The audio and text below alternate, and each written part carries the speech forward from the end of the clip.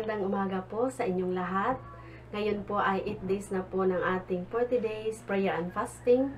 Idinadalangin ko po ngayon na ang banal na Espiritu ng Diyos ang siyang magbigay sa atin ng pagkaunawa sa kanyang mga salita at siyang kumilos sa buhay natin.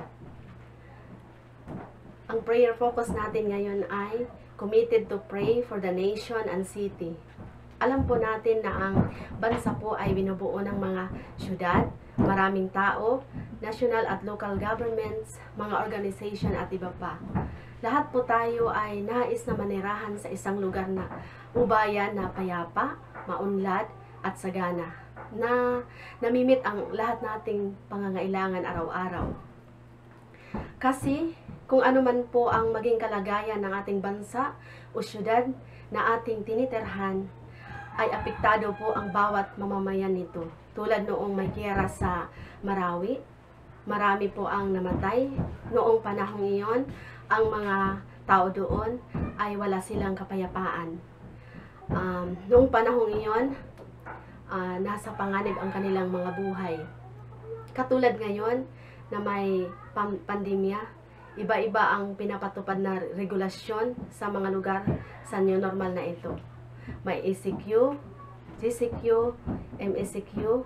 Mahirap kasi apektado ang pagkilos nating lahat. Kahit wala tayong sakit, kailangan, kailangan nating sumunod kahit, kahit mahirap huminga.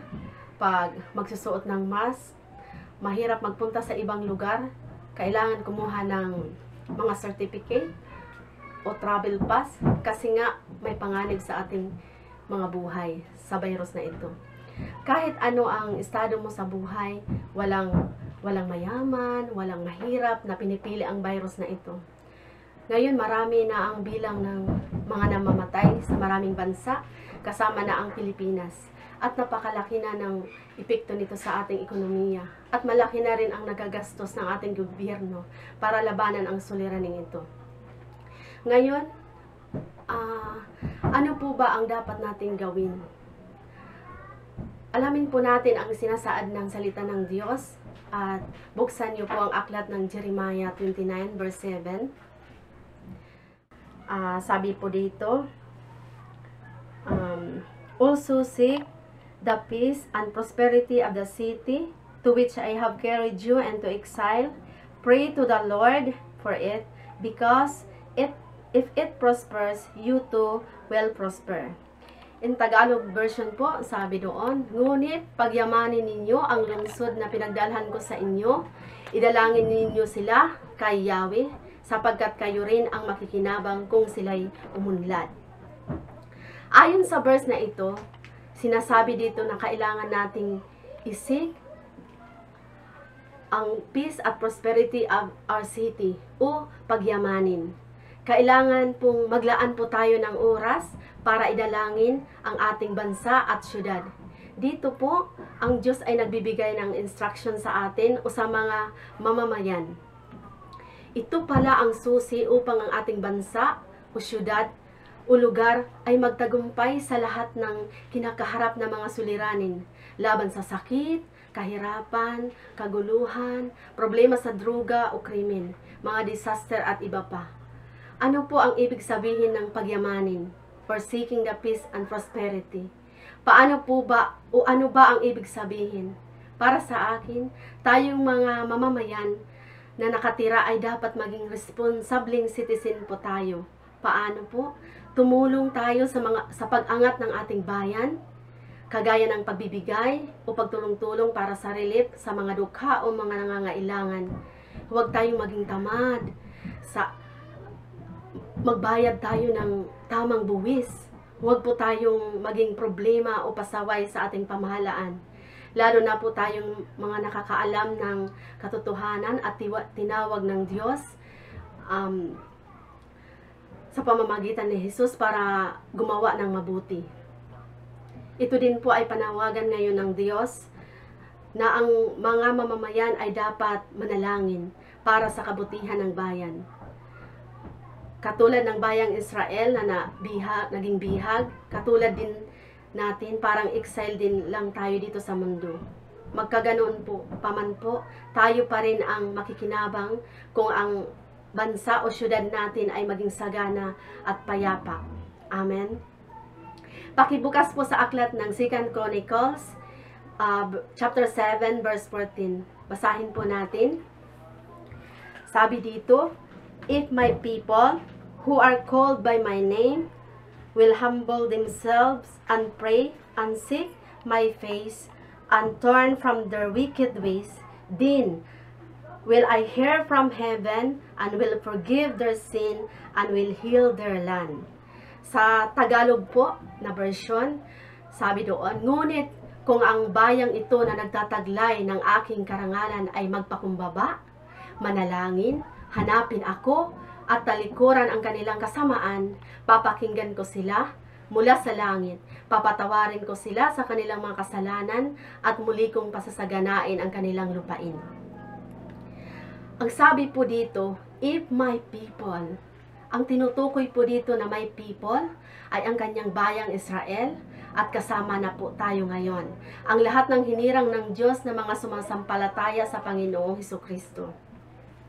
Ano naman po ang magpakumbaba? Alam din po natin na ang nagpapakumbaba ay hindi nagmamayabang.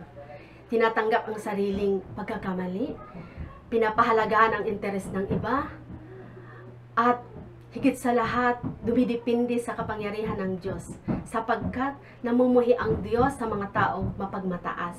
Sabi nga ni, ni, ni Paul, Apostle Paul, hindi niya ipinagmamalaki kung sino siya at kung ano ang kanyang nakamit, kundi ipinagmamalaki niya ang pagkakilala niya sa Diyos. Subalit, kung ang mga tao o mamamayan ay aasa lang sa dami ng pera, kaalaman ng mga dalubhasa, unang kapangyarihan ng mga namumuno para malutas ang suliran ng bansa o syudad, ito'y malaking pagkakamali. Sapagkat ipapahiya ng, sila ng Diyos silang hindi sa kanya nagtitiwala. Hindi naman masama na marami kang pera. Magaling at nasa posisyon kung hindi tayo dito nananangan. Ngayon sa verse ding ito, ang Diyos ay nagbigay ng instruction na hanapin siya. Manalangin at tumalikod sa lahat ng kasamaan. Kasi nga, ang karamihang mga tao ay naliligaw pa. Kasi sa mga huwad na mga Diyos pa sila lumalapit. Patuloy pa rin na gumagawa ng masama ang mga tao. Kaya, ito ang kondisyon ng Diyos upang pakinggan ang ating mga dalangin. Batid ng Diyos ang lahat ng, ng ating mga ginagawa at iniisip. Ngayon, marami, marami ang naghihintay ng baksin kontra COVID.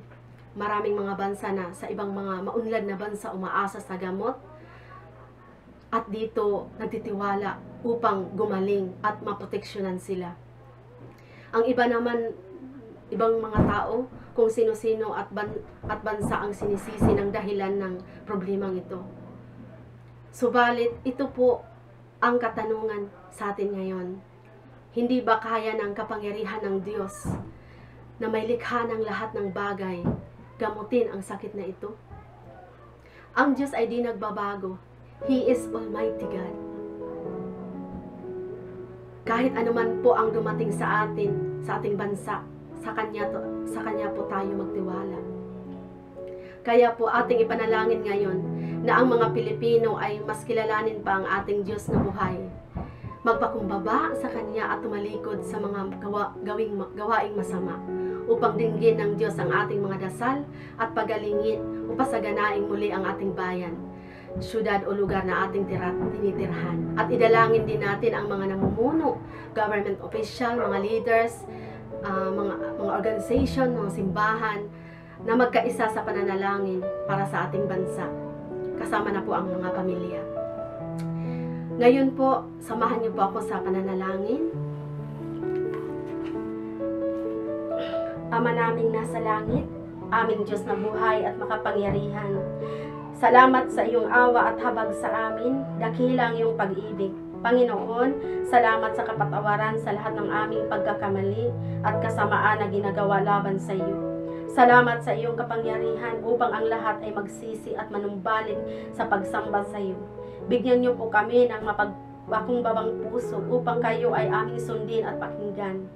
Pinapala, pinapanalangin namin sa iyo na maging COVID-free na ang aming lugar. Tulungan niyo po ang aming bayan na kayo po ay mas makilala.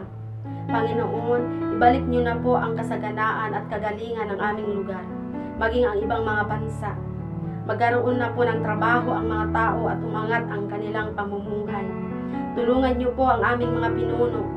We also pray na sila ay magkaroon ng takot sa inyo upang makapaglingkod sila ng tapat at ikaw po ang maghari sa aming mga buhay at ang iyong espiritu ang siyang manahan sa bawat Pilipino na ikaw ay parangalan at sambahin, tanggapin bilang Panginoon at aming maranasan ang tunay na pagbabago mula sa iyo.